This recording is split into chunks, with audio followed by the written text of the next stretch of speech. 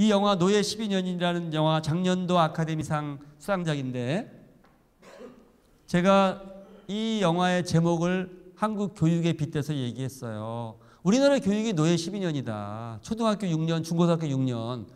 노예를 기르는 교육이 되고 있어. 어떤 노예? 성적의 노예죠. 여러분 카이스트 학생이 자살하는 비율이 제일 높다는 걸 여러분 아시죠? 모르셨어요? 제일 높아요.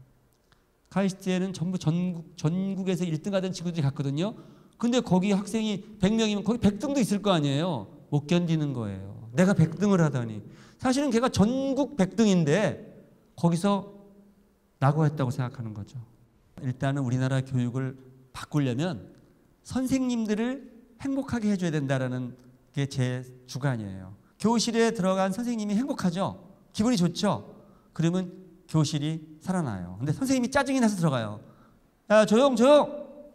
교실에 선생님들이 하신 말씀 중에 제일 많이 들은 말 여러분 뭘까요? 1번은 조용!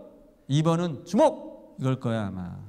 선생님들이 조용히 시키려고 했다라는 사실은 아이들의 자유분방함에 제동을 거는 것이고 주목한 것은 다른 것을 보고 싶어도 저기 벚꽃이 피어서 보고 싶은데 선생님을 주목할 수밖에 없었던 그 억압된 상황을 선생님이 주도하신 거잖아요. 네, 그래서 저는 선생님들이 조용, 주목 이런 말씀 안 하고도 학생들과 더불어 즐거운 시간을 공유할 수 있고 한 시간이 지났을 때 재미와 즐거움과 기쁨과 감동을 느껴서 어제보다 나은 오늘, 오늘보다 나은 내일이 예, 눈앞에 다가올 때 우리나라 교육이 살아날 수 있을 것이다. 선생님 한 분한 분이 매우 중요해요.